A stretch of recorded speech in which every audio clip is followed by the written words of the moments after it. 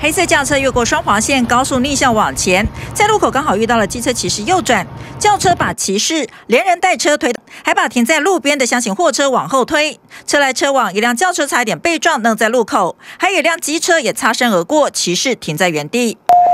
车祸发生在十九号上午八点多，苗栗市中华路和围攻路口。骑士是四十二岁的陈姓男子，他买了菜要回家，路口被撞飞，血流满地，当场没了生命迹象。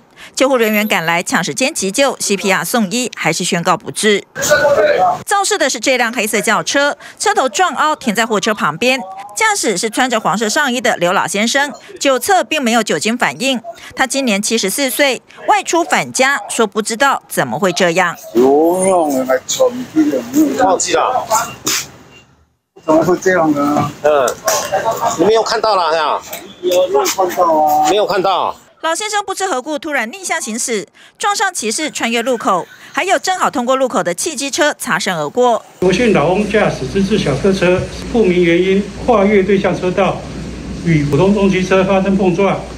碰撞后，自小客车再撞上停放路旁的自小货车，被撞飞的骑士伤重不治。老先生说：“不晓得为何失控，高龄驾驶真的得特别小心。”根据交通部道安资讯统计，今年前五个月，六十五岁以上高龄车祸死伤人数已经超过三万人。